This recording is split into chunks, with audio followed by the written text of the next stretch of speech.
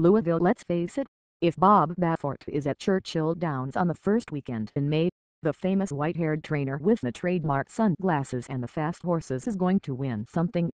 Without an entry in Saturday's Kentucky Derby, Baffert instead teamed with jockey Mike Smith to pull off an upset in Friday's Kentucky Oaks when Abel Tasman, a 9-to-1 shot, went from last to first to win the $1 million Grade I race for fillies before a rain-soaked crowd of 105,100.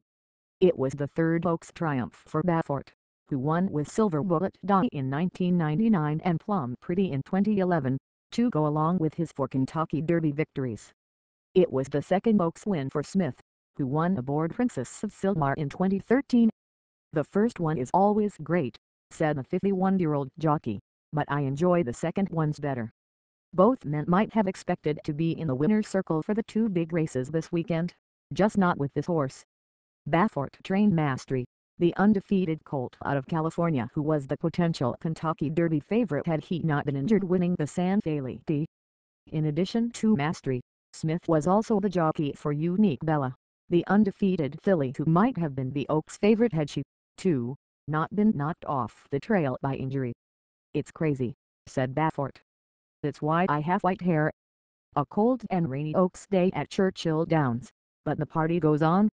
With gusting winds, rain and chilly temperatures keeping Churchill Downs to less than ideal conditions, many still showed up for the Friday races and parties. Want more crazy? Baffert and Smith picked up Abel Tasman over a Silks mix-up. After the China Horse Club purchased 50% of the filly from Bernard and Heyman Cleary's Clearsky farm, the organization reportedly became upset when jockey Joe Talamo did not wear its silks, as agreed upon in the sale for trainer Simon Callaghan during a second-place finish to Unique Bella in the Grade III Santa Ysabel Stakes.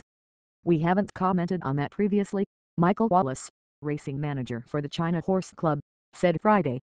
Simon is a very good trainer. Joe is a very good jockey. We were thankful for both of them. Baffert was thankful to get the filly, who then ran second to Paradise Woods in the Santa Anita Oaks on April 8.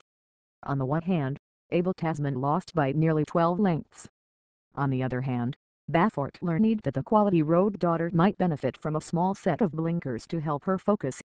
She worked great after that, Smith said. Still, the betting public understandably made Paradise Woods the 6-5 favorite on Friday.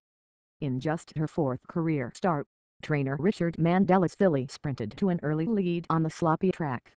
This time, however, she was pressed by Gazelle Stakes winner Miss Sky Warrior. The duo, several lengths in front of the rest of the field, covered the first half mile in a fast colon 46.24 seconds. I was watching those two battle it out up front, said Baffert, when asked about his filly being last in the early going. I knew there was some serious pace going on. By no means did I plan on being last, said Smith but she really started picking horses up and I felt confident that I was back in the race and it was just a matter of if I could run them down. Run them down she did.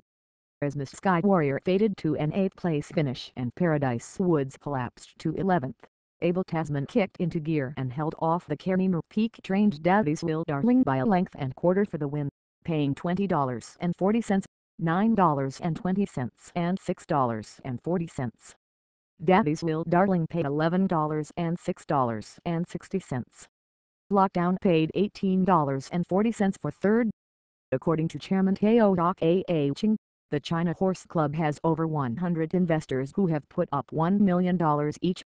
In its fourth year of existence, the organization is trying to promote horse racing in China with success around the world. Meanwhile, Clearsky Farm, based on Russell Cave Road in Lexington, also bred Breeders' Cup Classic, Pegasus World Cup and Dubai World Cup champion Arrogate, also trained by Baffert. Clearsky, they're making me famous, joked Baffert. You become famous by winning, and on Oaks Flash Derby weekend, Baffert has a habit of winning.